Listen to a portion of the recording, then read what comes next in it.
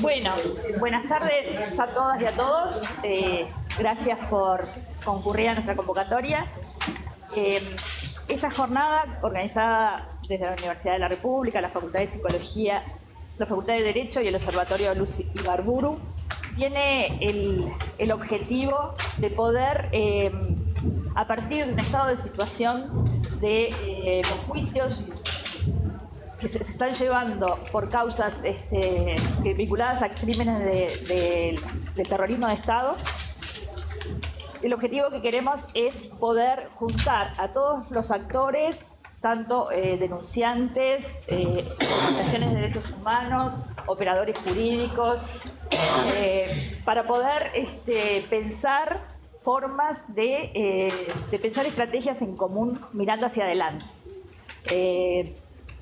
hemos visto bueno, que no, no hemos avanzado demasiado en los últimos años y eh, este es un tema de gran preocupación y por eso este, apostamos a que del trabajo de esta tarde puedan salir algunas pautas, algunas líneas que nos permitan tener este, lineamientos conjuntos para un accionar unificado y más efectivo en relación a la justicia, la verdad y la reparación.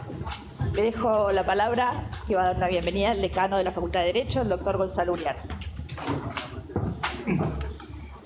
Buenas tardes. Eh, hablar de la importancia de la temática o de la jerarquía de los expositores me parece de una obviedad que no necesita o no merecería perder minutos del tiempo que vamos a ocupar en cosas más útiles. Simplemente voy a señalar que para la Facultad de Derecho es un honor tener esta actividad y resaltar algunos aspectos que me parecen trascendentes por encima de la temática. Uno de estos aspectos es que es una actividad que tiene la particularidad de conjuntar el trabajo no solo de dos facultades, y a la Facultad de Derecho nos hace muchísima falta sentirnos más dentro de la universidad. Es una facultad que a veces aparecemos como algo alejado. Entonces todo lo que sea compartir actividades con facultades hermanas nos parece excelente. Pero en este caso se suma además la participación de organizaciones de la actividad civil, lo cual enriquece aún más lo que podía ser una actividad meramente de la Facultad de Derecho. Entonces reitero, es para la facultad y para mí un honor recibirlos y desearle el, el mejor de los éxitos en la jornada de trabajo que tenemos por delante. Muchísimas gracias.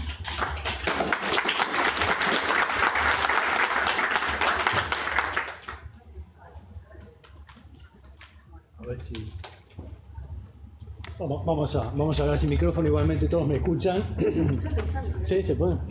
Bien. Bien. Vamos a dar eh, la palabra en primer lugar a Raúl Olivera del Observatorio Lucy Barbur, precisamente una de las voces de la sociedad civil. El Observatorio Lucy Barbur, muchos de ustedes lo conocen. De todas maneras, Raúl se encargará, para quienes no, no estén al tanto, de presentar y evaluar el trabajo que está haciendo en términos de, diagnóstico. Luego tendremos la palabra de la fiscal Carolina Sparsky y finalmente el profesor Daois Uriarte.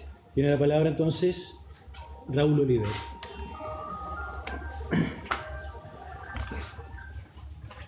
Buenas tardes. Eh, agradecemos a la Facultad de Derecho y a la Facultad de Psicología de esta idea que nos convoca hoy aquí a, intercambiar opiniones sobre un aspecto que nos interesa a todos. Nosotros hemos elegido como el título para esta intervención, a nombre del Observatorio Lucy Barburu, un interrogante que intenta ser provocativa. ¿Para qué sirve la justicia? Esta, interrogante la tomamos de, un dictamen de una jueza penal, la jueza Dolores Sánchez de décimo turno, con la cual, con esa interrogante concluía los fundamentos de una resolución negando la prescripción de determinados delitos. Esperemos que sea lo suficientemente provocativo para desafiar las inclemencias de un clima electoral donde este tema o está ausente o navega en las, a veces en las ambigüedades.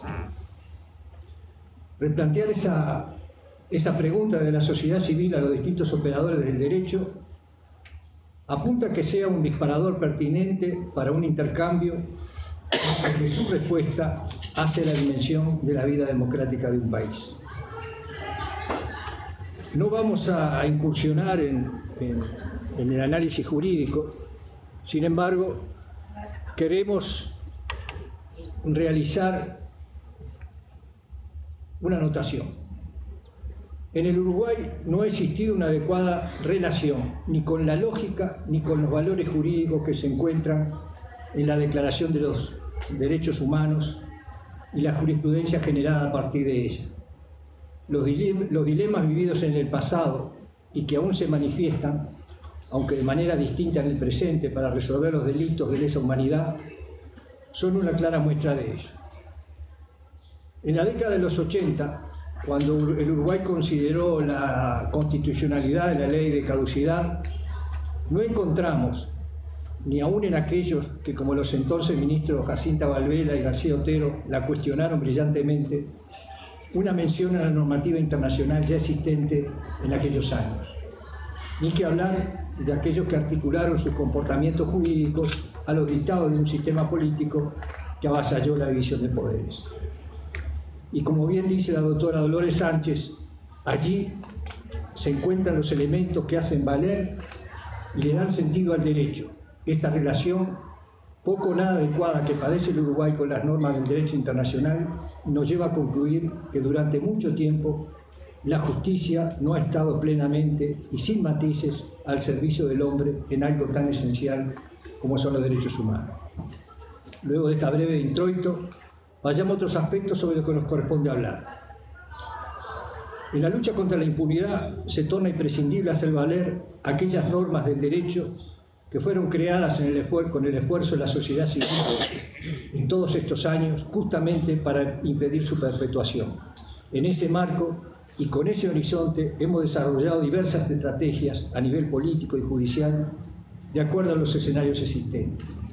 Cuando la Corte Interamericana dictó la sentencia del caso Velázquez Rodríguez en 1988, del caso Blake en 1998, de la Cantuta en 1999, de Barros Altos en 2001, de la guerrilla de Araguay en el 2010, intuíamos que se producían avances sustanciales que finalmente tendrían sus efectos aquí en la tierra oriental. Finalmente, con la sentencia en caso Gelman el 24 de febrero del 2010, eso que intuíamos se transformó en esperanza de que se cerraba una etapa y se abría otra con nuevos desafíos.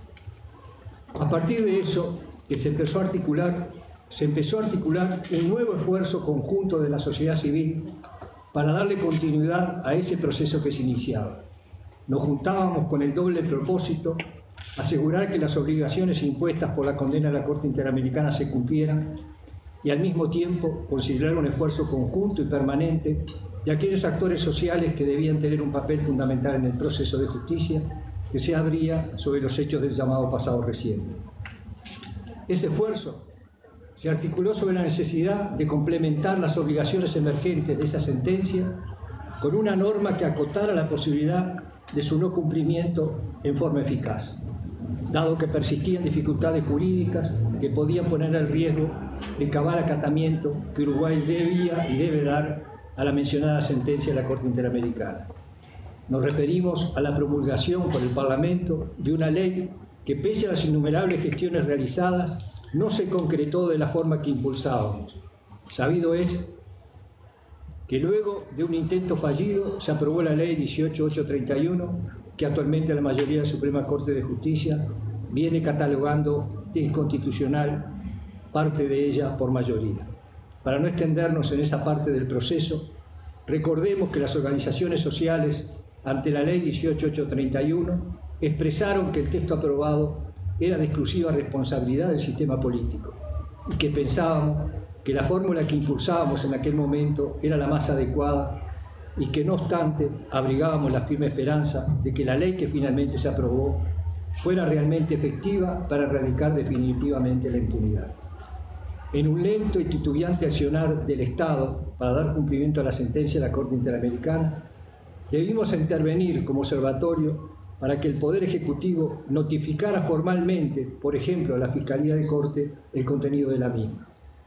De esa manera, podría interpretarse que de ahí en más el sistema judicial era el encargado exclusivo de completar la tarea, desarchivar causas, investigar los hechos y sancionar a los responsables cuando correspondiera. Obligación que si bien es deber para el Estado en su conjunto, el sistema de división de poderes la fragmenta. En esa situación, la finalización de la tarea de llevar adelante de manera eficaz y en un plazo razonable las investigaciones y el juzgamiento de los responsables pareció quedar exclusivamente en manos del sistema judicial. Resumiendo, el nuevo desafío de esa etapa incorpora activamente al sistema judicial tanto para el desarchivo de las antiguas causas habilitadas por la resolución del Poder Ejecutivo del 30 de junio del 2011 y la presentación de nuevas denuncias. Ese escenario ponía en evidencia un problema que ya no era de carácter jurídico, sino de falta de capacidad material y de herramientas institucionales y administrativas para que el proceso de justicia fuera eficaz. Allí nos planteamos realizar un seguimiento de ese proceso que nos permitiera detectar las dificultades e impulsar las medidas que fueran necesarias. El movimiento sindical resolvió en marzo del 2012 facultar a su Secretaría de Derechos Humanos a crear un observatorio sobre el cumplimiento de la sentencia de la Corte Interamericana relacionada con las causas judiciales y tenía como objetivo realizar el seguimiento de las políticas públicas en materia de derechos humanos, tendiente a mejorarles o perfeccionarlas de manera que garantizaran un pleno acceso a la justicia y de cooperar con los distintos operadores del sistema judicial. Esta iniciativa fue asumida y perfeccionada con el aporte de diversas organizaciones que actualmente lo componen el observatorio, de abogados, de las gremiales de magistrados y fiscales y el asesoramiento de otros observatorios existentes en América Latina. Con la información institucional lograda por vías indirectas y la existente en la sociedad civil, armamos una base de datos inicial y la pusimos en un sitio web de libre acceso. ¿Qué detectamos en primera instancia? 24 causas que pese a la resolución del Poder Ejecutivo no habían sido desarchivadas de oficio como correspondía. Se lo comunicamos a la Suprema Corte y esta ofició a los juzgados y de esas solo sabemos que solamente fueron desarchivadas cuatro de ellas. Comprobamos que la investigación, el aporte de la información, testimonios y el impulso procesal continuaba recayendo en las víctimas y las organizaciones de la sociedad civil, como lo dice el informe del relator especial de Naciones Unidas, Pablo de Grey. La actuación de la sociedad civil sigue asumiendo el rol que le corresponde al Estado, de ser el auxiliar de la justicia. Durante más de un año visitamos a los ministros, la Secretaría de la Presidencia de la República y todos aquellos que tienen responsabilidades específicas en estos temas, planteando ese problema e impulsando la creación de un equipo especial auxiliar de la justicia en crímenes de terrorismo de Estado, el que colaborará en forma directa con los operadores jurídicos del Poder Judicial en todos los casos relacionados con la investigación de crímenes cometidos en el marco del terrorismo de Estado. Finalmente, el año pasado se creó dicha unidad especial que aún presenta dificultades en su accionar por falta de medios y un uso inadecuado por parte del sistema judicial, como también lo expresó el relator Pablo de Grey. Al margen de la estrategia unificada de los abogados de los centros militares que dieron origen a múltiples acciones de dilación de los procesos y la posición de la mayoría de la Suprema Corte de Justicia con relación a la Ley 18831, y al cumplimiento de la sentencia de la Corte Interamericana, a comienzo de este año evaluamos que nos encontrábamos en una verdadera batalla contra el tiempo en la que fallecían los victimarios, las víctimas y los testigos. En el caso de los victimarios, eso interrumpía inexorablemente el proceso y en los otros casos creaban dificultades para el esclarecimiento de los hechos y su responsabilidad. Luego de dos hechos importantes, el traslado de la doctora Mariana Mota y los recursos de inconstitucionalidad dictados por la mayoría de la Suprema Corte y algunas posiciones sustentadas por un fiscal y un par de jueces, se entró en una suerte de impunidad fáctica, por un lado, y la amenaza de otra de carácter jurídico.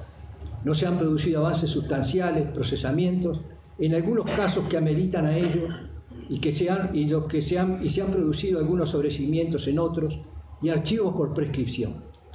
En ese panorama, a comienzo de este año, como decíamos, el observatorio resolvió incorporar a sus objetivos iniciales asumir un rol activo en las causas. Esa definición tomaba en cuenta la existencia de una cantidad considerable de causas que no tenían representación legal de los denunciantes y asumir ese rol a partir de instrumentar un equipo jurídico que asumiera adecuadamente ese rol, ya sea asumiendo el patrocinio de las causas, que no lo tenía, y coordinando con los pocos abogados que aún actúan en ese campo. Para ese rol no se podía seguir pensando en el trabajo honorario de profesionales. Por eso, el movimiento sindical resolvió aumentar el aporte de sus afiliados para que se contara con los recursos para contratar al doctor Pablo Chargoña para que fuera el coordinador de un futuro equipo jurídico del observatorio que se concretará a partir que se logren los recursos para ello.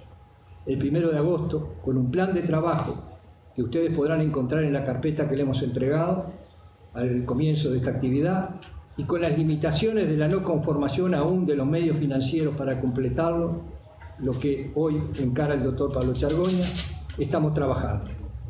Algunos de los ejes de ese plan de trabajo. Conocer en tiempo y forma el contenido y la situación de la totalidad de las causas. Ese universo de las causas incluye aquellas que se encuentran archivadas o en ejecución de sentencia, en razón de que en ellas existe información que es relevante a la hora de analizar delitos cometidos por un solo actor, el Estado dictatorial, y por lo tanto, insumo importante para la investigación global de las responsabilidades globales del Estado. No hay por parte de los juzgados una sistematización de esa información. El Poder Judicial no sabe cuántas causas existen y cuál es su situación, lo que indica la ausencia de medidas administrativas que permitan monitorear el cumplimiento o no de la sentencia de la Corte Interamericana. A nivel de la Fiscalía la situación es distinta. Al menos allí se elabora, aunque con mucho atraso, un listado de las causas que tienen los distintos fiscales. El último listado completo de la Fiscalía de Corte, a la que recientemente tuvimos acceso, data de septiembre de 2013. Y, y al incorporarle a la base de datos surge el archivo de 66 el posible archivo de 66 causas y eh, muchas de ellas ignorándose la razón de las mismas. Debemos reconocer que días atrás el fiscal de corte dispuso a nuestra solicitud una perentoria actualización de esa información y en parte ya la estamos incorporando a la base de datos. Por otra parte, hasta hace pocos días en los que gestionamos y logramos una colaboración del vocero de la Suprema Corte de Justicia, el doctor Barat, era imposible saber salvo alguna de las primeras sentencias de constitucionalidad, qué causas se encuentran en la Suprema Corte de Justicia y cuáles habían sido resueltas. Un ejemplo de que puede implicar no tener información de estos aspectos lo vivimos con relación al archivo definitivo de la causa del asesinato de Vladimir Roslik y que a partir del mismo empezaron a correr los plazos para la acción ante la Convención Interamericana. Sin embargo, si no se tienen aún los fundamentos, no se tienen aún los fundamentos y las resoluciones al respecto. En este aspecto de tener una información actualizada y útil para el proceso de justicia es una responsabilidad del Estado que ha tenido que ser asumida otra vez más desde la sociedad civil. Otro punto de nuestro plan de trabajo está centrado en conocer las causas que carecen de representación legal. Así como dijimos anteriormente, y lo destacó el relator especial de Naciones Unidas, las causas han descansado en los esfuerzos principalmente de la sociedad civil. Una causa en esa situación es poco lo que avanzará si no cuenta con ella. Un relevamiento provisorio de las causas en esta situación y que actualmente están activas nos indica que el porcentaje es muy alto.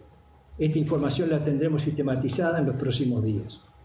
A partir de la actuación del doctor Chargoña, actualmente, el observatorio asumió la representación legal de una cantidad importante de causas, acompañando a los denunciantes y testigos a las audiencias e impulsando procesalmente las mismas cuando correspondía. Otro aspecto en que se trabaja es para que se tomen las medidas administrativas y o legislativas que permitan mejorar el tratamiento de las causas. La ya creada unidad especial del Ministerio del Interior está a nuestro entender desaprovechada por desconocimiento de su rol y de las posibilidades que puede desarrollar como auxiliar de la justicia. Por otro lado, el Estado se comprometió ante la Corte Interamericana a instalar unidades de apoyo a las fiscalías para atender estos casos. Sin embargo, al día de hoy, una iniciativa elevada al Ministerio de Cultura para darle el marco legal correspondiente no ha tenido curso aún y no tenemos ni sabemos la razón de ello. Otro tanto sucede con el tratamiento de los exhortos solicitados a la República Argentina, que pese a los acuerdos de cooperación sufren un tratamiento inadecuado. Otro tanto, debemos decir, del acceso a la información en manos del Estado. Existe una política de secretismo hacia las organizaciones de la sociedad civil que poco o nada contribuye a colaborar con el proceso de justicia. Resumiendo, el Observatorio Lucy Barburo, en la medida que recoge y sistematiza la información sobre las causas por terrorismo de Estado, es algo más que su narrativa, da una interpretación y comprensión de los hechos que ocurren en el proceso de justicia. Es también parte de la batalla por la verdad de las complicidades y o las omisiones del Estado en este aspecto. Contrariamente a otras situaciones vividas en el pasado, la lucha contra la impunidad en la lucha contra la impunidad, la reacción de la sociedad civil, que en parte se materializa en la creación del Observatorio Lucy Balburu, no es contra una situación desfavorable, imperante, cuando se impidió la actuación del sistema judicial, sino de consolidación de un cambio favorable que se manifiesta en la importancia que ha tomado la normativa internacional y la eliminación parcial y aún en debate de las trabas a este proceso. Resolver estos aspectos es darle una respuesta justa a la interrogante de para qué existe la justicia. Muchas gracias.